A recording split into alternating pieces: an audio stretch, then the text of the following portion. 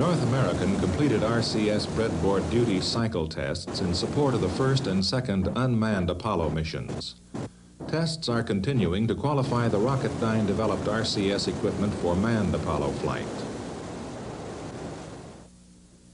Block 1 qualification testing of the service module RCS engines was started in the fall of 1965 by the subcontractor Marquardt Corporation, Van Nuys, California.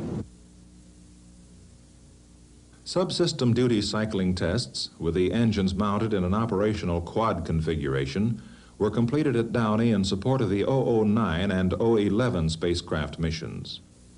The service module RCS engines are similar to those used in the command module. Both are fueled with hypergolic propellants and are controllable from a maximum one-time burn of 500 seconds to a large number of pulse firings as short as 20 milliseconds.